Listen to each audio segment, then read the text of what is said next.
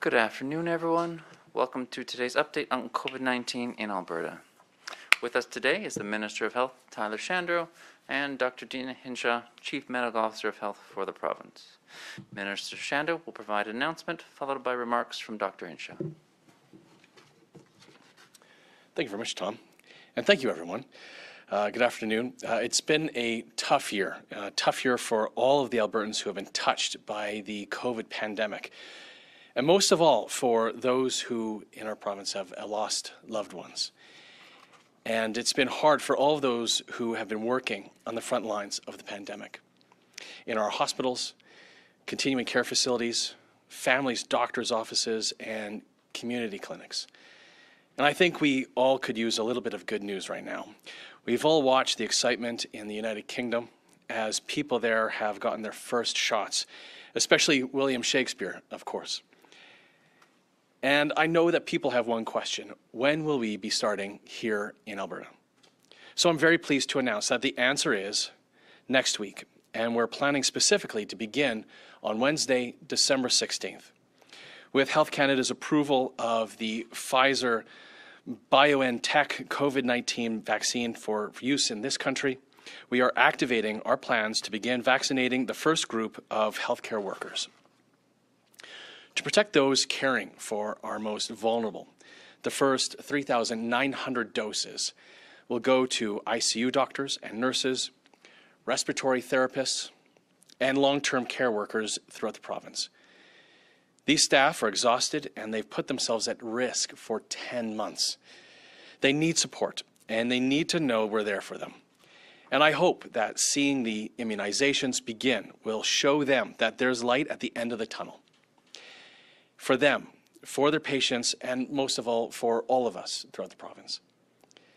And as we learn about how to manage and handle the vaccine, Pfizer is requiring that we begin by administering their vaccine only at the site of delivery at this time.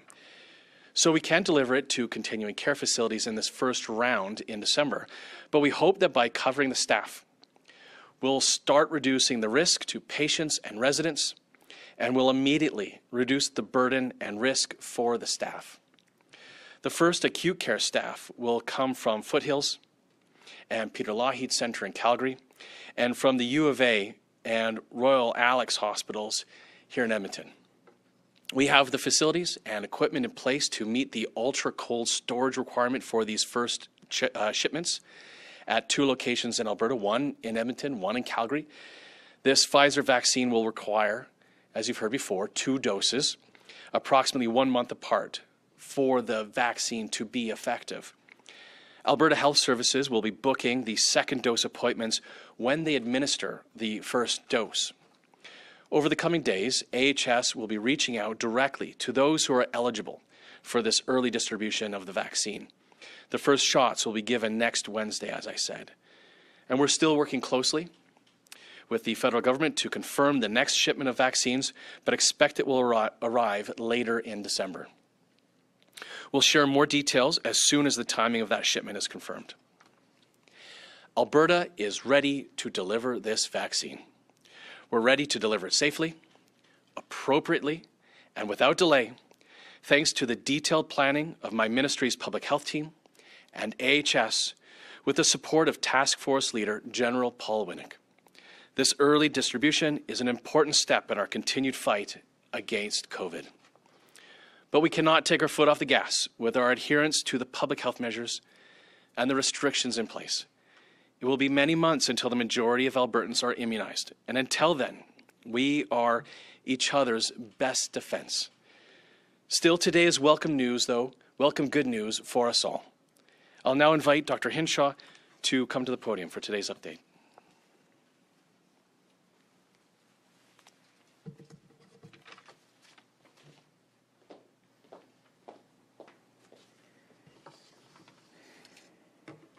Thank you, Minister Shandro, and good afternoon, everyone.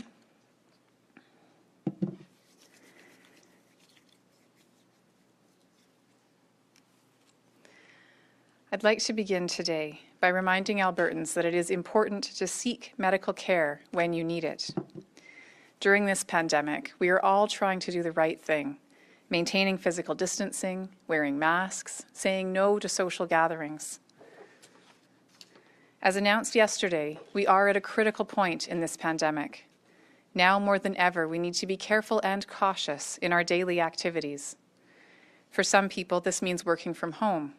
For all of us, it means no social gatherings with anyone outside our household or two people for those who live alone. For some, this has also meant choosing to delay a doctor's visit out of fear or anxiety. But that is not what we mean when we talk about being careful. Please do not avoid going to the doctor if you need to. This can lead to serious problems if health concerns go unchecked. COVID 19 has put a lot of things on hold, but your health should not be one of them. During this pandemic, it has become clear that Albertans are not seeking medical attention as often as they normally would or should. This trend is not unique to Alberta. It has been identified across Canada and many other countries. But we need to change that. the health system in Alberta remains a safe place to go if you need help. It is open and ready to help diagnose and manage illnesses and diseases. Alberta Health Services and the Alberta Cancer Foundation are reminding Albertans about the importance of listening to their bodies and seeking medical attention if they notice any changes. This pandemic is spreading a new illness, not stopping existing ones. Please talk with your healthcare provider so they can investigate any new persistent symptoms if you are experiencing them. This includes things like an unusual or growing lump, significant blood in your stool, urine, or phlegm, or growth or darkening of a mole. These can all be signs of serious health issues, including cancer. It is important that we catch these things early. An early cancer diagnosis can offer more effective treatment options, has better survival rates, and provides better quality of life after a diagnosis. However, diagnosing cancer early is a complex process. It requires a person to notice a change in their body that is persistent or worsening, and then requires them to seek medical attention. Often, multiple interactions between patients and different healthcare providers are needed to arrive at a diagnosis. Sometimes this happens quickly, but it can also take time. The sooner this process starts, the better off that person is. That's why it is important to continue to have health conversations with your primary healthcare provider, pandemic or not. If you notice any changes that concern you, book an appointment with your family doctor or nurse practitioner. If you do not have a family doctor, you can find one by calling 811 or HealthLink or by visiting albertafindadoctor.ca.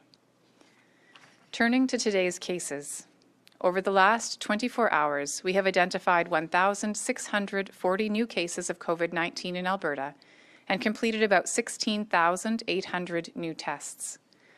This means our positivity rate is still high at about 8.9%.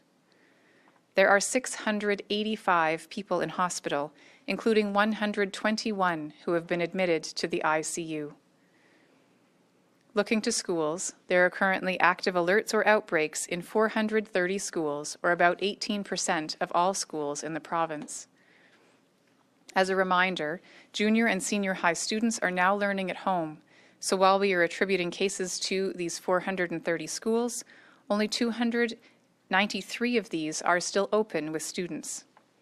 Currently, all of these schools together have a combined total of 1,726 cases. This number includes 109 schools on the watch list.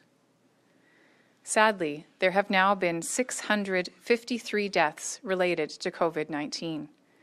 My thoughts and sympathies are with all the family, friends, and communities grieving the loss of someone they loved. Today, I also want to provide some additional information on surgeries from Alberta Health Services. As I mentioned yesterday, COVID 19 is impacting our health system, and AHS is putting additional surge measures in place in the Edmonton zone. These additional measures, as I mentioned, include postponing as much as 60% of non urgent, scheduled surgeries that require a hospital stay. Within these constraints, the government and Alberta Health Services are still working to ensure as many Albertans as possible continue to receive needed surgeries in the coming days. As I mentioned yesterday, AHS will continue to support Albertans who require emergent or urgent surgeries. This includes surgeries resulting from major or minor trauma, urgent cancer, cardiac, or vascular surgery cases. AHS is also working to continue to perform as many surgeries as possible across the province. Depending on the number of Albertans with COVID 19 who are hospitalized in different zones and sites, surgeries will continue to the maximum extent safely possible. To make sure that as many of these surgeries as possible can continue, we all need to work together to reduce our cases so the pressure on the healthcare system is reduced. The vaccine delivery announced earlier by Minister Shandro is exciting news. It is remarkable that we will have a vaccine available in the same year that this pandemic arrived in Canada. However, as I've said before, while the arrival of a vaccine is positive news, it will be some time before we can immunize most Albertans. Until then, we must be the vaccine for each other. Finally, I know that there are many questions about the new measures announced yesterday, and we are working hard to address them. Please continue to visit the alberta.ca COVID site for updated information and guidance. I have heard some confusion specifically around outdoor gatherings and would like to help clarify. As of yesterday, outdoor social gatherings with anyone outside your household are prohibited. This includes getting together in a park or around a bonfire. We have not changed people's ability to participate in outdoor sports and recreation in groups of up to 10 people. This reflects the ability of people to do these activities while keeping distanced and wanting to keep options open for physical fitness in outdoor settings. However, I am also asking Albertans to please follow the spirit of the restrictions that are now in place. This is about reducing the spread, not finding loopholes. Please don't go skating or skiing with groups of friends if you can go with your household instead.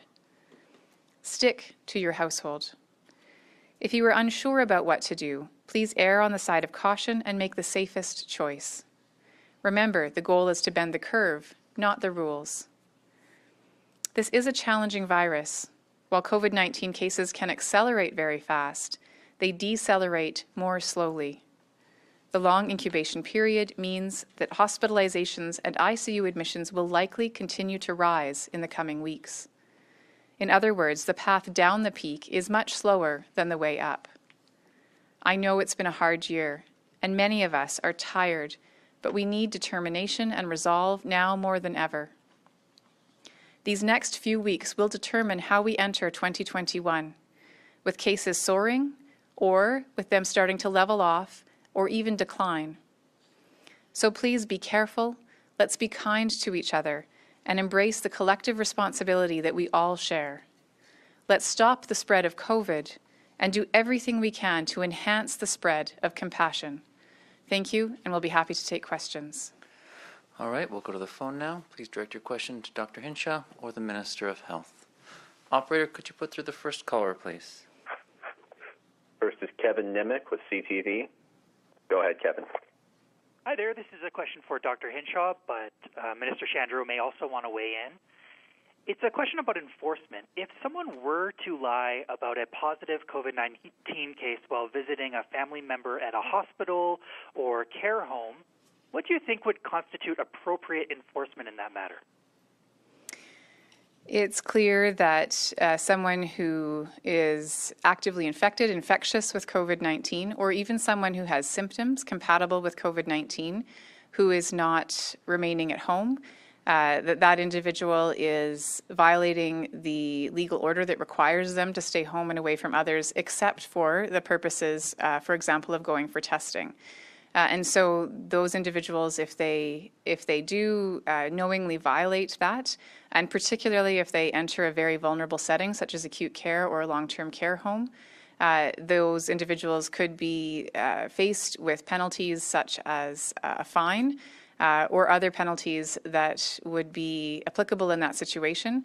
Uh, but I think the important thing to remember is that it's not just about the enforcement, it's about the reason why. And so I would really appeal to people uh, who may be feeling a little symptomatic and thinking, well, it's not a big deal, and I really want to go in to visit my loved one, and, and visiting uh, people that we love is an important part of supporting them. Uh, that you could be putting not just their lives at risk, but the lives of others around them at risk. And this is not a time to be taking these things lightly. So I would encourage all Albertans uh, to be very, very mindful of the decisions they're making and the consequences of those decisions. Minister, did you want? Okay. Operator, could you put through the next caller, please? Next is James Keller with the Globe and Mail. Go ahead, James. Hi there. This is a thanks. This is a question for both uh, Dr. Hinshaw and Minister Shandro. We're hearing that hospitals in Calgary and Edmonton, particularly Edmonton, are still operating beyond their capacity, in some cases considerably. What's your understanding of the current situation? Uh, what facilities is this most acute? And can you put into context what it actually means on the ground when a hospital is operating above their stated capacity? The uh, situation, as I understand it, and Alberta Health Services would be able to provide more specific details, uh, but the situation, as I understand it, in Edmonton in particular, is that uh, they're operating at above capacity with respect to the number of spaces that are available for treating patients, also taking into account some of the healthcare worker shortages that are being experienced. And so, what it means to have that uh, demand that's exceeding the, the capacity is that additional spaces that aren't typically opened are needing to be used for caring for patients. I know that Alberta Health Services has been working very, very hard over the past uh, many months to make sure that the plans for expanding capacity put patient safety at the forefront. Uh, but I also know that the more admissions we see, and again today we uh, we've seen a significant rise in our hospitalizations and ICU admissions. That the more we see that rise, the more it puts pressure on other parts of the system. Uh, and so again, I think the implications are needing to reduce things like scheduled surgeries and not uh, doing procedures that mean that others could potentially require a hospital bed. So in order to care for those patients who are needing ICU care or hospital care, other patients waiting for services need to have those services delayed, and that's really that key implication. Uh, Minister, did you want to comment on that?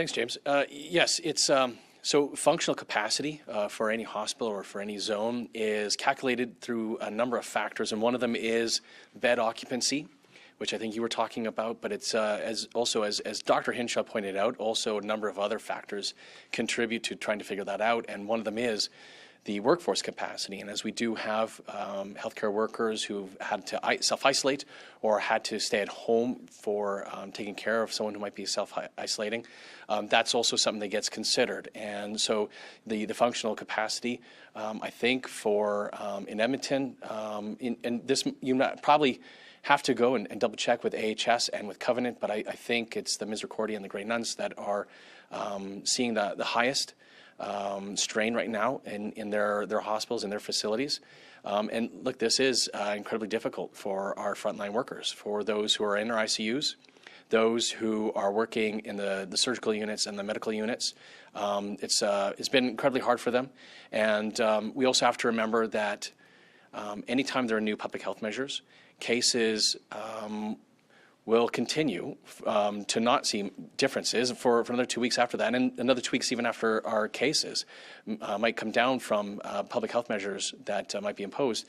Um, we will continue to possibly see uh, continued increases in um, in hospitalizations as well. So we, uh, our, our folks are stressed, in, in, especially in Edmonton right now, and we thank them all the folks who are working in those ICUs and in those medical and, and surgical units for the stress that they're, they're under right now.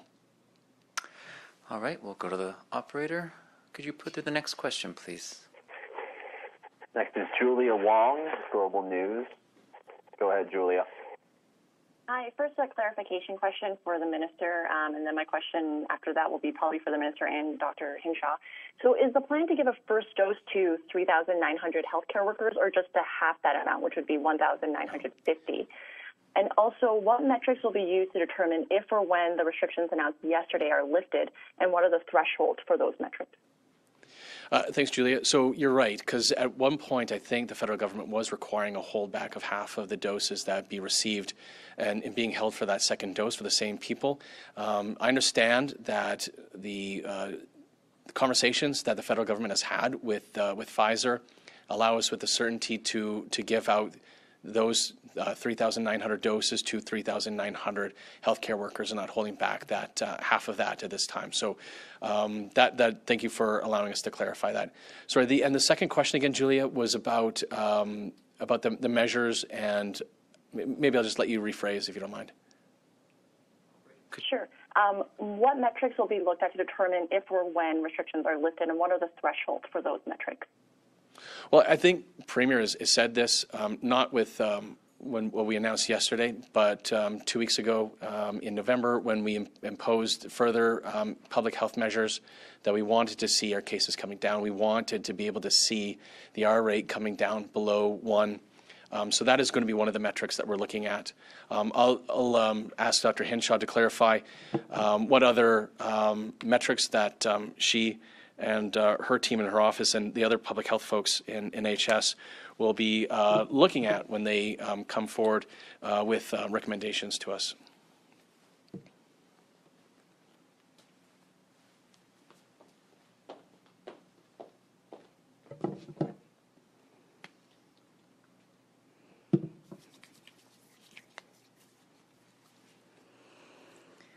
Thank you, Minister. And uh, with respect to the metrics, so the, the R value for the province, uh, and we calculate that once a week. The R value for the province um, as of the end of last week was 1.13, so still above 1. And we are looking to bend that down below 1. Again, that would indicate that we are shrinking the number of cases. And in addition to that, we do need to bring down the number of new daily cases that we're seeing every day because even uh, a relatively low R, if we're still seeing a high number of new daily cases, can be a, a concerning combination. So we're uh, working to put together a combination of, of different metrics with very clear triggers, uh, and that uh, that uh, choice about which triggers to use again there's no one metric that's going to be perfect. So we are going to have to look at the pros and cons of those. And a final decision hasn't been made with respect to uh, the exact you know th- that suite of measures and those specific triggers. Uh, but what we do know is that we need to bring our our new daily cases down uh, that will require a decrease in our R, and it will require, again, that we're seeing that continuous lowering day over day of our number of, of new active cases. A small point of clarification the net increase in new cases today is 1,460. We have time for three more questions. Operator, could you put through the next one? Next is Rafi Bujikanian with CBC. Go ahead, Rafi. Thank you. I just want to revisit the answers you provided James Keller a couple of minutes ago. So he was asking about how poorly the hospital system is doing at the moment. And I guess in light of what you both said, Minister and Dr. Hinshaw, about uh, some of the hospitals in Edmonton being overwhelmed, are we now at a point where you would expect to have to use these field hospitals that we've been talking about, or do you still expect that they're just a measure of, you know, precaution that we hopefully won't need?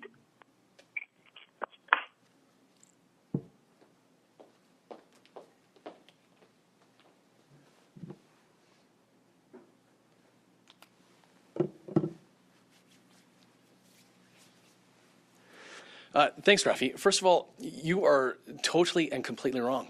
Um, our hospitals are not performing poorly. Um, I got to correct that. Um, and and our AHS, Covenant, um, our nurses and our doctors, yes, they're under stress, um, but um, they are performing admirably. They are doing amazing work. We are ensuring not only are those those Albertans who need critical care getting it, but AHS had, and our surgeons throughout the province are um, really focused on making sure that, unlike other provinces, we are reducing um, surgeries in, in the most minimal ways here in Alberta. We caught up, and 90, over 90% of our surgical backlog from the spring, unlike any other province. Um, they've continued to try to, to keep our surgical capacity um, at uh, pre COVID levels. Uh, now, that hasn't happened um, right now in the fall in, in Edmonton, but um, I think um, the hard and amazing work that AHS, our frontline workers, our surgeons are doing, our ICU staff are doing is, is amazing. Um, so just wanted to clarify that. Uh, but you, also asked about whether at this time um, there'd be a need for a field hospital. No, but first of all, we, we'd never had a field hospital planned. Um, I just want to highlight again, I've answered this question before. AHS was in discussions about a field tent, and we already have a field tent. It's, there's already one. It's, it's located at the Peter Lougheed that was uh, installed in the spring. Now, they're, they AHS has looked at whether uh, further tents would, would, have to be procured and whether they need to be secured at this time for contingency plans. Um, there's um, no, um, at this time, doesn't seem to be a need for a further field tent to be erected. Um, but uh, uh, no, there, there is no plans for a field hospital or field tent at this time. Operator, could you put through our second last question, please? And Licia Corbella with Postmedia. Go ahead, Licia. Oh, hi, uh, Minister Shandro. Um, I'm just wondering, do you have any more numbers about how many more vaccine doses we can expect by, before the end of the year, and also um, by the end of March? And so, presumably, yeah. if we're expe- we're expecting clearly another 3,900 uh, doses uh, within that 21 days span between the first and second shot for these people. A- am I correct to presume that? Uh, you, you are correct to, to presume that uh, for, for the last part of your question. Um, look, we haven't been given firm numbers or firm timelines by the, uh, the federal government. Um, the, um, the purchase agreements are, are with the federal government and, and the manufacturers. Um, I understand that they've given estimates. I think it was around a quarter million to uh, to Canada uh, in total by the end of the calendar year. Um, how many um, will will of, of those will be sent to Alberta and, and when we, we don't know at this time. Um, so we continue to wait for, for the federal government to give us those details. What, what we're um, able to be in control of and, and what we're, we're prepared for is how to accept them. And we, um, have done the, uh, I guess the, the dry run has begun, um, how to store them, how to distribute, and how to provide them. And, and so that's what we're in control of, and, and we're ready to deliver uh, if and when we get any further vaccines. Operator, could you put through the final question, please? Final question is Lauren Pullen with Global Calgary. Go ahead, Lauren. Hi there. My message, uh, my question rather, is for both um, the minister and for Dr. Hinshaw. Um, I just wanted to follow up on the, the hospital rates that uh, we have been seeing here. We have received some projections uh, from AHS, the um, early modeling system, the early warning data, that shows on the high end we could see more 1,000 people in hospital, plus nearly 200 in ICU by December 24th. Infectious disease experts that we talk to say it does look like, uh, from the modeling that they have seen and the case numbers we have seen, that we could reach medium to high projections. Can you outline your level of concern with those numbers and uh, what impact it will have for hospitals? And is that the barometer for possibly those field tents to need to be used, or what kinds of changes could we see by that December 24th date if we do reach those projection numbers? Yeah, so again, this isn't modeling. Uh, I've answered this question from the NDP many times. This isn't modeling. This is the predictive analytics that AHS has used throughout the pandemic. And they, they use a number of assumptions and epidemiological um, data to be able to figure out what they can uh, estimate from a case count, um, what the, the increase of stress in our hospital system might be from a 1 to 14 day period. Um, it's been fantastic work. It's allowed us to be able to respond so effectively throughout the pandemic. So thank you to them for this early warning system that they've developed. Um, you're, right, we are concerned with these uh, increased numbers, and we will continue to see increased cases. I, think, unfortunately, it does take time for public health measures to, to show an effect in our case counts. And even after case counts start to go down, we will still continue, even for two weeks after that, to see increases in our hospitalizations. That, that is to be expected. Uh, we are ready, AHS is ready, and they continue to be prepared to make sure that everybody who needs critical care will get that care. There may be times when there may be um, surgical procedures which are postponed as a result, um, as we've started to see in Edmonton. That, that would be the result. Um, and no, we at this time, even with these projections, do not anticipate a field tent to be used in AHS operations. Uh, further to the one that's already been installed at the Peter Lougheed, I should say. Thank you all for joining us. Dr. Hinshaw will provide another update tomorrow afternoon. Have a safe night. Thanks, Tom.